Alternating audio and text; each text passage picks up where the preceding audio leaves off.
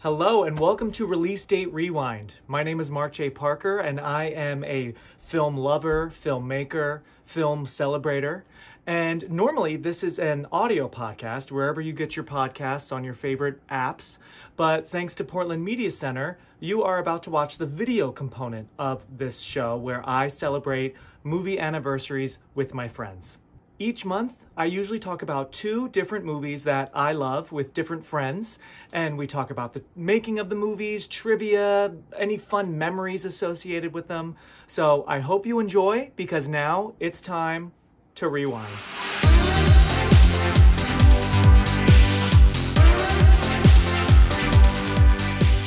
All right, everybody, I'm so happy that my friend from the podcast that I love, Back to the Blockbuster. My friend Gaius Bolling is on the show with me today to talk about some spooky stuff. Hello, Gaius. Happy almost Oh. Halloween.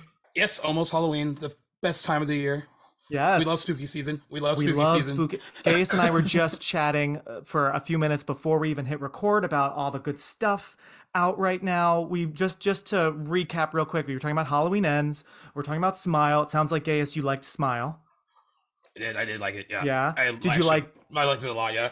Yeah, so that I can't wait to see. Did you like Barbarian? I did see that one. What'd you think of that? I d- I did love it, and you know what? I love that I went in kind of blind. Like Yeah. I I think I saw one I, I saw one trailer for it, and that didn't Uh-huh. really tell me enough.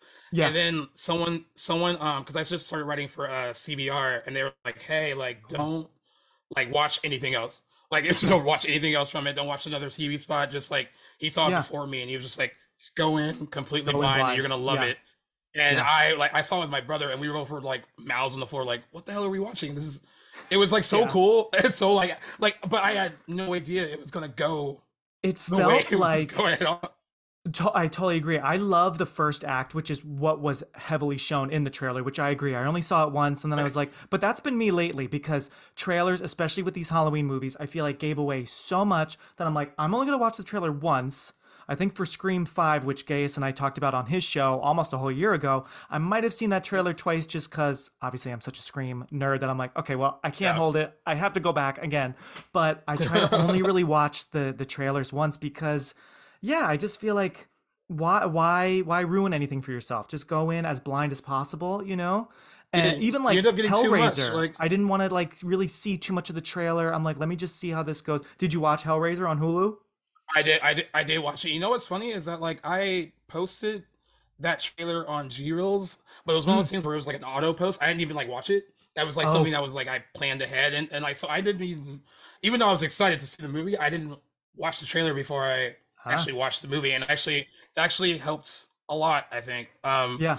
I told a friend I was like I was like, hey, this is like I was like this is the best one since like the first one, and my friend loves and hates those movies. Like he loves the first two, and then like he's like the rest is like he's like Yeah. the rest is like a hot me- a hot mess.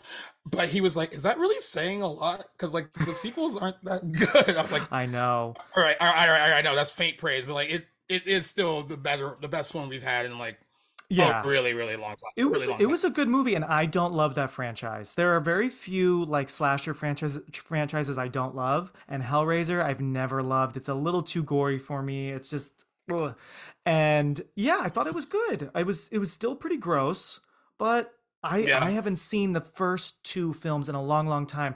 But Hellraiser might honestly have like the most movies in a franchise because there are so many like direct to video sequels and some ones, yeah. don't even star uh, Doug Bradley as Pinhead. There's someone else. I'm like, I truly can't keep up with that franchise. What's right? crazy is that uh Scott Derrickson, who directed like Sinister and like Doctor Strange, Mm-hmm. like he directed he directed Inferno. That was like his first Oh, like uh Hellraiser? Inferno was his first movie, and I was like, Oh, good for you. I was I was like, good for you.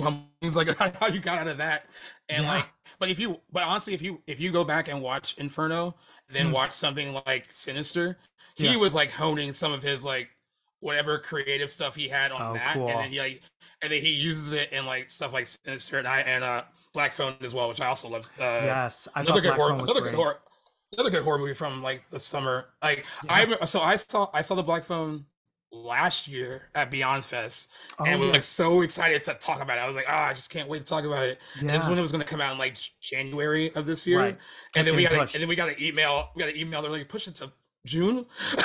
but I mean, yeah. I think it benef- I, I think I think it benefited them in the end, though. I mean, it played pretty well during the summer, yeah. and like we were saying before we started recording, like this is like a good time to be like a horror movie fan. Totally. Think, like we have some good it's, it's stuff getting... out.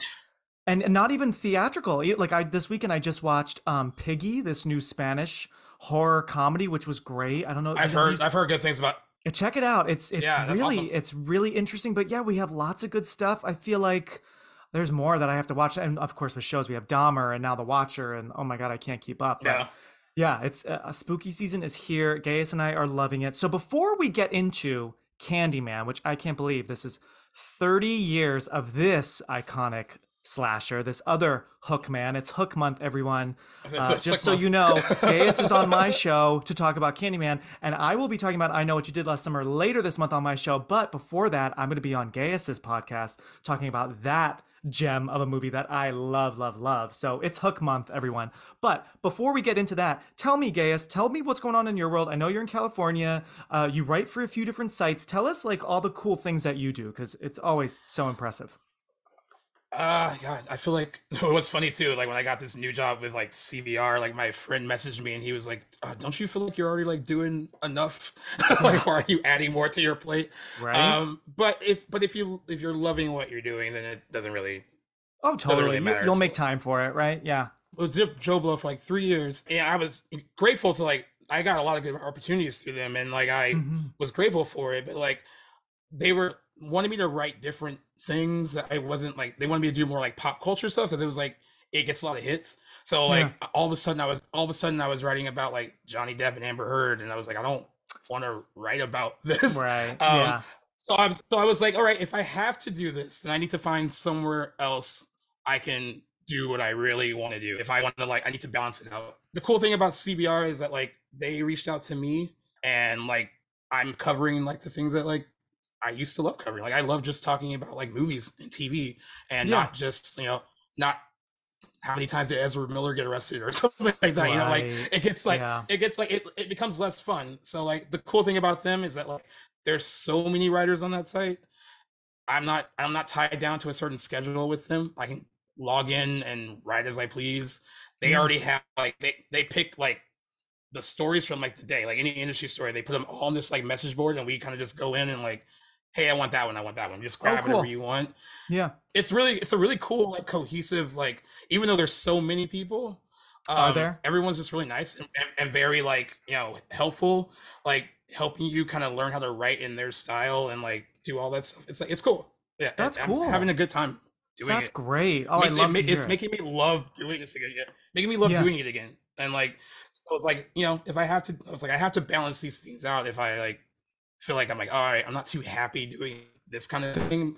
So it's like I get to do a little bit more of that with these yeah, guys, and it's actually helped me help me build up the the G roll stuff more too. And like they're very supportive of me having like like my own thing, and like you're That's like, hey, cool. like you you we love your Instagram stuff, like we love like podcasting, like we we encourage you to be like a yeah. nerd. This is what we want. We want like people who are fans of this stuff, and like totally. he's like whatever whatever like pushes your creativity, like that's what they kind of want, and that's a really good thing to have. Absolutely. Oh like, yeah. The the more stuff you do on the side, like podcasting, like he uh, Gaius has a great Instagram, uh, uh, tons of movie news. Which you're one of my few people now. I just go to. I'm like, oh cool. I don't even have to look at the real articles. I just look at Gaius's awesome posts. He's got a great following, G Reels on Instagram. But yeah, the more you do that kind of stuff, the more likely that people will go to the site to read your articles to read other articles so yeah it makes total yeah. sense so tell tell me real quick about um, I, I was a guest on your podcast thank you very much and i'm going to be on like i said very soon so how long have you been doing the podcast now it's been has it been a year or more than a year so our first um i actually looked on apple Podcasts. our first episode was posted on november 10th of last year Wow! So it's so it's cra- it's it's crazy. It's almost been a year, and like it it was one of those things that was like I got approached because of G Reels. Uh, they were like, "Hey, like, cool. we want you to do a podcast, but like you can do whatever you want." There was no like basis of like they knew it'd be movie related, but they were like, "You can just you build the you build the show. How many how many people you want to have on? Like, it's all you, and we'll wow. like we'll." They, they take care of like the editing and all that stuff. So I always feel bad because like I feel like I mean you're putting in the work doing like the research and stuff on things, Yeah. but I do feel bad that like other people are like editing it. I mean, I do get like final cut on stuff, but like, but I, I know that you you know like it's Oh my god, like one of the, the- editing is the one worst of the things part. that was so, yeah yeah one of the things like when I was like discussing it with like my buddy Owen about doing it, I was like, yeah, it sounds like fun to do this, but like that that part about cutting stuff and doing all it's time consuming and like you're as you know, I was like I already got like a ton of stuff going Yeah. on. Like I don't know if I have the time to do it. Um I respect everyone that does it. I mean I I, I was like uh a guest on like a buddy's show and like he cut the thing like so quick.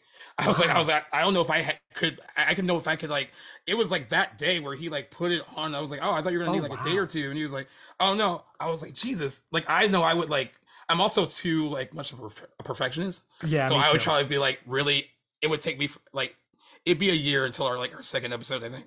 if, if I if I was the one, if I was the one uh, doing it. But yeah, yeah, you've been on a couple times actually, both about Yeah. uh, horror movies, which I thought was yeah, great and like it was a really fun environment. Like the thing I love about doing it, even though I like doing it with my friends, like it's cool meeting other people Mhm. who are doing this. Where it's just absolutely. like you're just connecting, connecting on like Twitter and Instagram. And it's like, yeah, hey, I like your show. Like, oh, hey, you seem like you like this. Like, do you want to be on our show? Like, it's totally. it's really it's like it's it's an interesting thing because you're like these people are like they're kind of like friends now like Oh, you're like yeah. you talk to them almost every day like Oh yeah, it's like Like, you don't crazy. you don't want to Like- call each other like colleagues, and yeah, friends is maybe a little bit funny because it's not like we know each other that well, you know, or like we No. hang out. But Right, totally, right. like we, it's great. That's one of the great things about podcasting and being part of just sort of social film is, yeah, you get to meet cool people and like chat and every now and then do a podcast together or something and just like keep up on like what's going on and share thoughts and I love it. It's great, right? yeah. Yeah. yeah i think the hardest part the hardest part i think is like matching up schedules uh, and i know Yeah. like I, for some reason every cool guest that i've had or we've had on our show none of them are from the west coast like no one's in my time zone like at all Yeah. everyone everyone is like oh like three hours ahead and you're like all right well i'll do whatever works out for you because i know it's later on your That's end so funny. uh, that's yeah. that's been the hard that's been the hardest part like trying to like Yep. you know line up like the timing to do, do a lot of this stuff i'm in la but not in like la la Yep. yep. um so that part's nice um Yep. the, only, the only time i have to go to la la is like for work like every, every press Mhm. screening is in like burbank or somewhere really far like, uh, Yeah. like, Totally. like an hour and a half away Yeah. I bet like, you've enjoyed being able to do like remote like interviews with stars because I know you post a lot where you can just be Yeah. what looks like from home, right? That's probably nice and easy.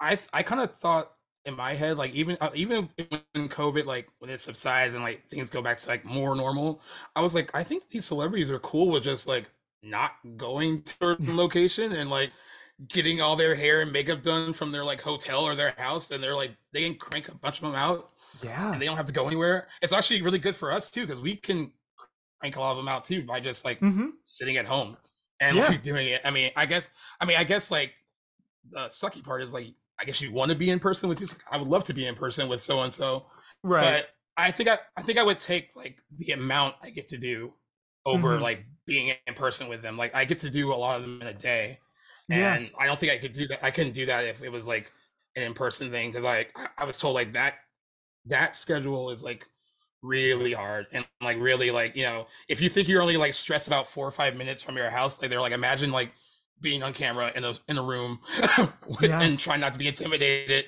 Oh totally. Like, you oh, know, oh yeah. Because i i used to before when i lived in new york um at least in the early years i used to work in like film publicity for fox searchlight and, and different places and yeah like those junkets and everything it's a whole production as you know so it's nice Yeah. actually i bet some days at least like you said yeah of course you might want to be Yeah. there but some days it's kind of nice to just be like okay i'm gonna log on and i'm ready whenever you are i'm hitting record and you it's know and it's cool too because you become friendly with like the companies that are organizing it too like Yep. when you're like in the, you're like basically in like a waiting room on zoom and all the people that are organizing it they recognize you they're like oh it's so good to see you again like you start to chat with them too. Oh, too yeah. like it's, it's like a nice little like e- it eases you up a bit before you go into like Yep. the actual uh, virtual room to talk to like whatever celebrity it is and right yeah it's nice like everyone's like super supportive and really cool and nice i, I haven't had a bad one great. yet someone told me that someone told me that you might one one Yeah. day. Yeah. I'm like I'm sure, I'm like you know. I just I don't know. And watching be someone I like love too. Like, like Oh, oh wow, they say never meet your heroes.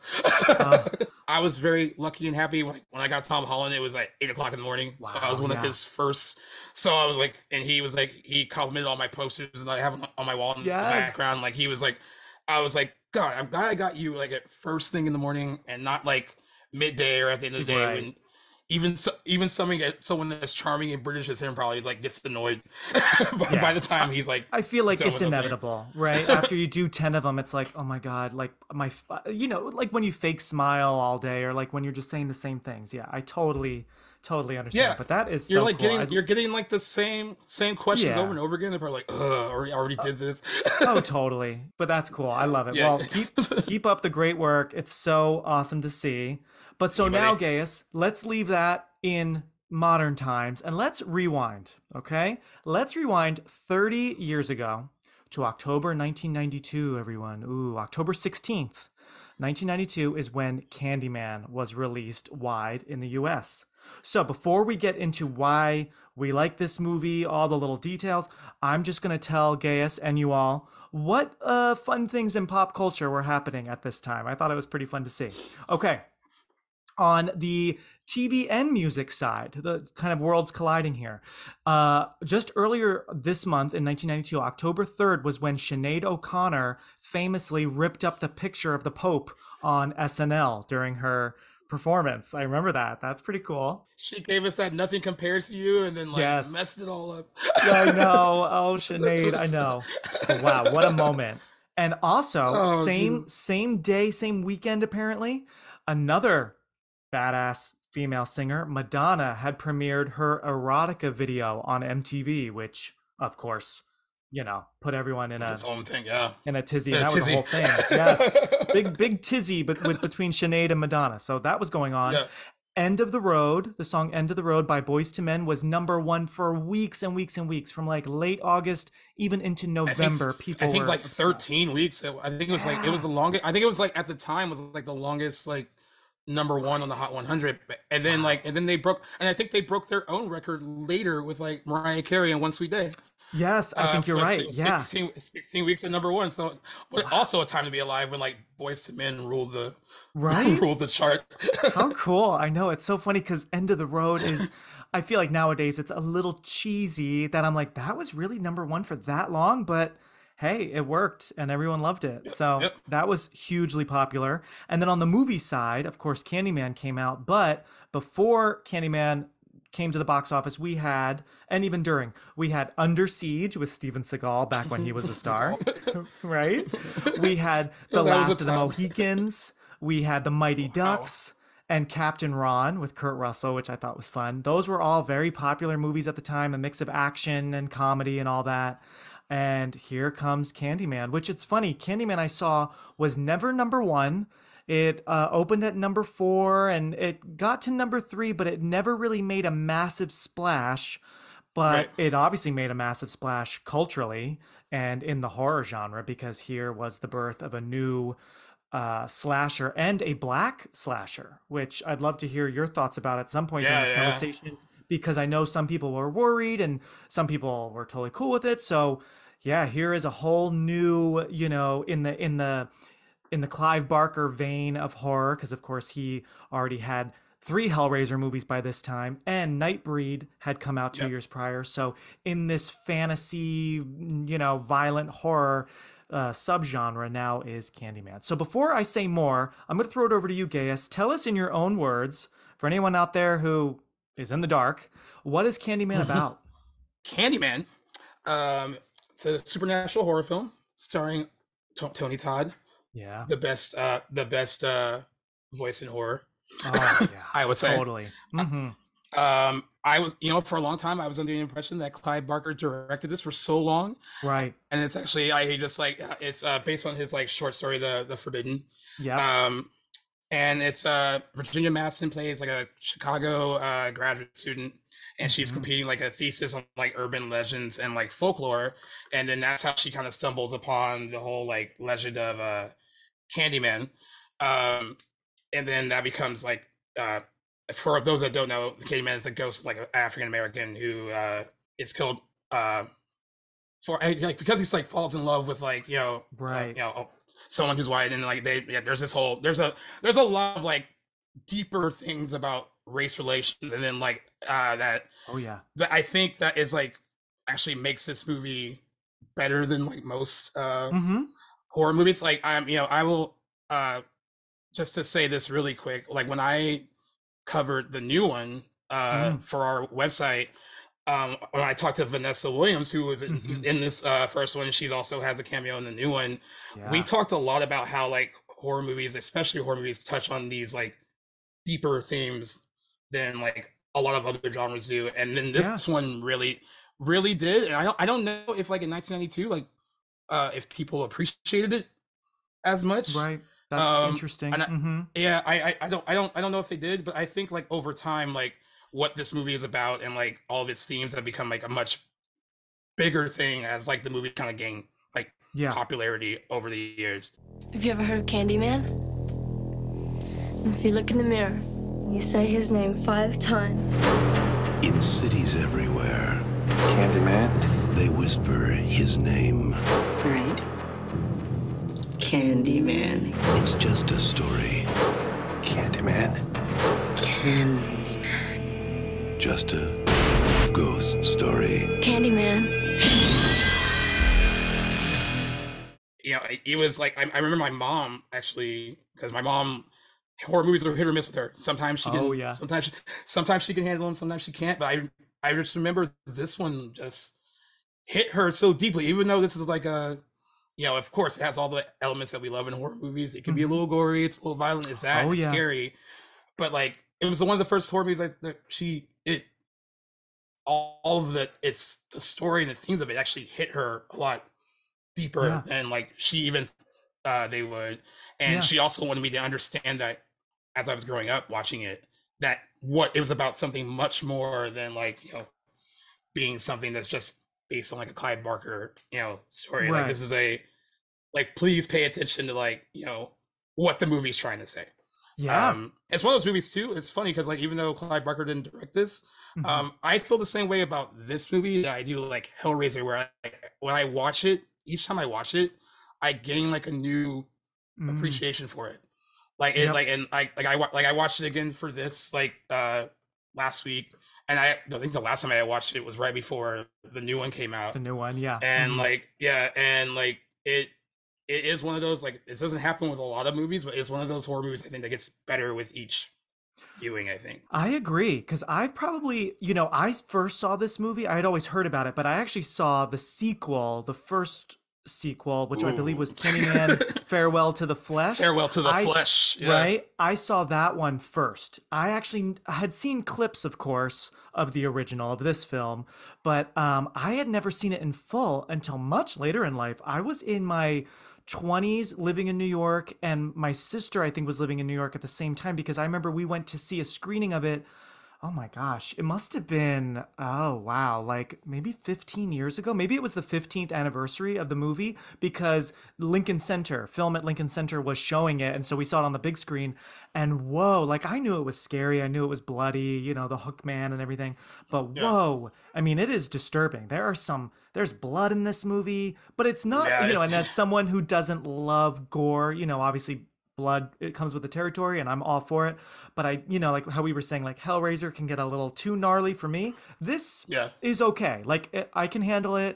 I think many people out there can handle it but it's just so shocking and so visceral um Yeah. that it it definitely came at a good time because of course we know with the 80s we had the heyday of Freddy and Jason and Michael Myers and even Leatherface Chucky. So we saw a lot of slashers but this slasher hit differently you know where Yeah, not only like you and your mom were saying like that there are themes that hit us but just also the scares and the the sounds great sound effects i wrote in my notes amazing sound Yeah. score and effects oh such a good movie like it's and even i agree it's it even the gets better. simple thing yeah it's Yeah. like the simple things too like i mean like i don't think as a even as a 37 year old man now like i don't really feel comfortable saying candyman five times in front of a mirror Right?